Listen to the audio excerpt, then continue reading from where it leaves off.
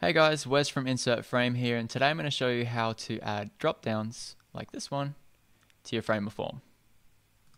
So to set this up, first we'll need to head over to framerforms.com, and if you haven't already, you need to make an account.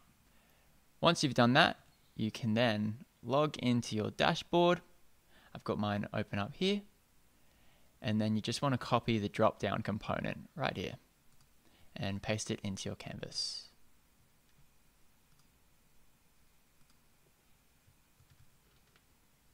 Like so.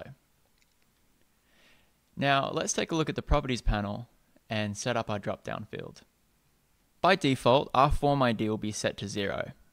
If you only have one form on your site, you can leave it on zero, but if you have more than one, remember to set it to a different number and to match the form ID on the field with the form ID on the submit button.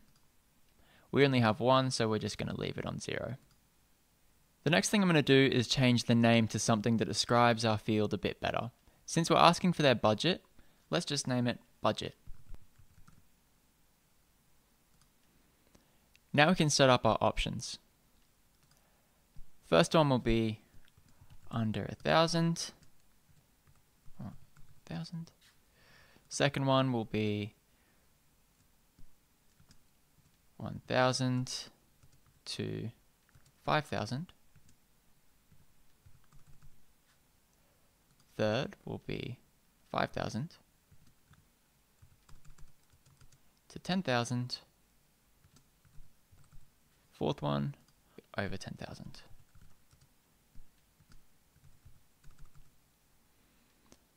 Cool. So now I can start styling the drop-down field. I'll start with the background and then add a border. And you can keep customizing it by changing the font color, the font, padding, radius, icons, all those sort of things. Uh, but I'm just going to leave it there. So now we can give it a test. And it looks like it's working. So that's how you add a drop down field into your Framerform. If you're still having trouble, you can leave a comment and we'll try and help you out. But as always, hope this helped and that you have a great day.